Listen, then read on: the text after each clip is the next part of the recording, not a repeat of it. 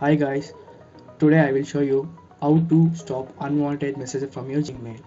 You can see here how much unwanted messages came from other uh, companies' websites. My name is Danush and welcome to Tech Rockers.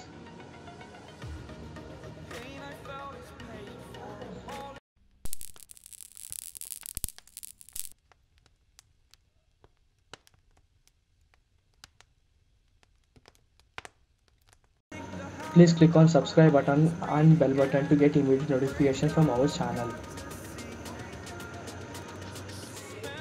Welcome to Tech Rockers.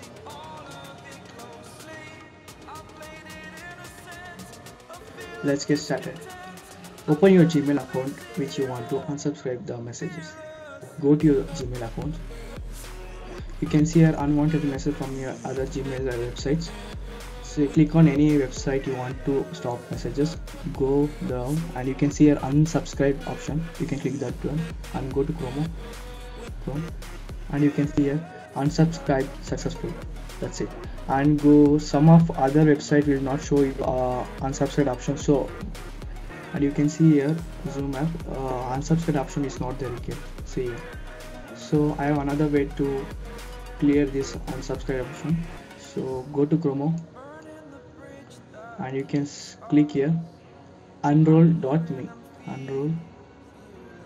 Unroll.me and open unroll.me website. Click on login. Login with your gmail account. Agree. Click your gmail account. Wait for the loading click hello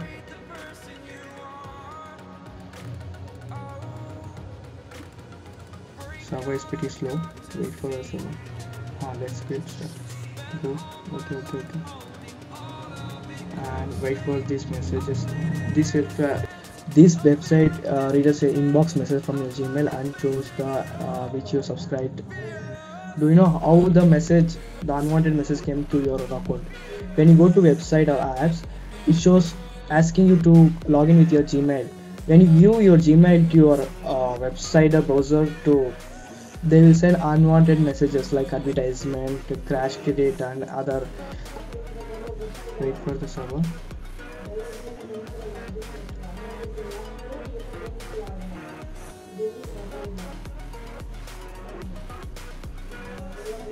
And you can see here i have uh, subscribed one the application. You can get started editing. And you can see board style uh, website I can see here unsubscribe option. You can click on unsubscribe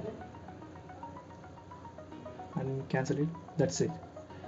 You're free from the messages. And go to three dots on top. You can see a three dot. Click on the three dot and go to setting. Scroll down to down.